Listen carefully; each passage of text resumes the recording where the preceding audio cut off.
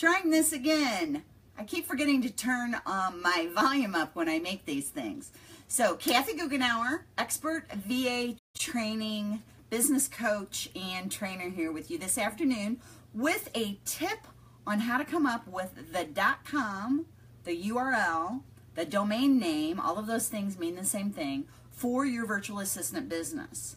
And that was a question asked in our expert VA community this week. So if you have a question, post it depending on what the question is, I'll either answer it and other people in our group will help answer it in the comments just by typing it in, or I'll do a Facebook Live like this for you guys. So today, I'm doing a Facebook Live for you. So the first thing I want you to know about a .com name is that you do want to use .com. Don't use something else. Don't use .org or .me or .anything else. .com is still the most popular. I think it will always be the most popular eh, for the foreseeable future. And if you don't use a .com, what's going to happen is the person who does have the .com of that name will be the person that gets people coming to them that were trying to come to your site. Okay? So work as hard come up with as many different ideas as you have to have to come up with a dot .com name. Okay? Uh, where to get it? I recommend GoDaddy. Everyone charges about the same price. GoDaddy has fabulous customer service. I really like working with them, so I recommend GoDaddy. And it's about $14.99 a year for your dot .com. So it's really, really inexpensive. Now, how do you come up with it? So, first of all, you have to already know what you're specializing in, okay? So, there's no way you're going to be able to come up with a good .com name unless you know what you're specializing in. So, that's the first thing what you're specializing in, and secondly, who you're helping. Okay, so your niche, your target market. And I apologize. Allergies are just driving me crazy. Okay, so once you identify that, then you're going to be able to come up with a really good .com name. So for example, one of my favorite ways to come up with a good URL is to come up with a benefit of what you provide to your clients. And here's two good examples of that. Joyce Wright's URL is accomplishmoretoday.com because she helps her clients accomplish more. I love that one. A second one that's really good like that is wemarketyouprofit.com. And that is expert VA by the name of Don Garrett who has that one. So as you can see, both of those are really good benefits that your clients get. Another way to do it is to uh, use your area of specialization and describe that. Here's an example of how to do that. Cindy Winslow, who is a real estate VA, her URL is realestatesupportspecialist.com.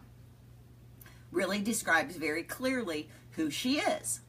So those are the two ways I recommend coming up with it. Either a benefit that your client is receiving or a description of what you do.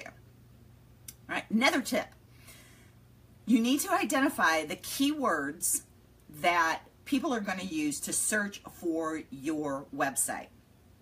Okay, you can do that by going and using a free keyword tool. Just Google free keyword tool, and a bunch of different ones will come up. There's no great ones anymore. There's none that I particularly recommend anymore because they're all they all have issues. But you can use them, and unless you're going to do SEO as part of your services, I don't re uh, recommend paying for. Um, I had a bug just fly in my face. I don't recommend paying for a keyword service. So just use a free keyword tool to come up with keywords uh, that you're going to use on your website for people to find you. So, for example, a keyword might be a real estate virtual assistant, for example, that's a keyword. So using that term, real estate virtual assistant, if that's a keyword that a lot of your potential clients would be using, that would be a great phrase to use in your URL. So come up with those list of keywords by doing some research, using a free keyword tool, and then you can play with those keywords to see if you can come up with a URL from there. So two more tips before I let you go. One is do a lot of brainstorming, come up with a bunch of different names, make sure you check on GoDaddy and make sure that they are available, and then post in our expert VA community the names that you really like and let us give you some feedback on them. Because there will be different reasons why a word here or there doesn't make sense to us that you thought was really clever, um, and we'll give you good feedback on that. Second, uh, then once you come up with like the top two or three, call somebody that you know, friend, family member, whoever, who you have not talked with this about at all, so they don't know anything about it, and read those two or three URLs to them over the phone, and one at a time, and first ask them to spell it for you. So, for example, accomplishmoretoday.com. How would you spell that? And if they spell it correctly, then you know it's a good URL. If they don't spell it correctly or they don't know how to spell it, it's a bad URL. Okay, and it it will amaze you the words that people don't know how to spell. Okay, um, so those are those two tips. And one more thing, because I mentioned this, don't get clever. You think, oh, this is going to be so clever, and I'm going to use the letter U and the number four, and so VA, the no, the number four, the letter U dot com no, because for the rest of your career, you will be having to tell people VA, the number four, the letter U.com. And that's a pain in the butt, I can tell you, because I made all those mistakes. So, those are my recommendations for you on how to come up with a great URL. And most of all, you're going to have to be patient, do a lot of brainstorming, double check by posting your ideas in our expert VA community and making phone calls to at least three friends and asking them number one, do they know how to spell it? And number two, I forgot the number two thing, what does it mean to them? And these are people who know nothing about you yet, so that's going to be a really good test for you.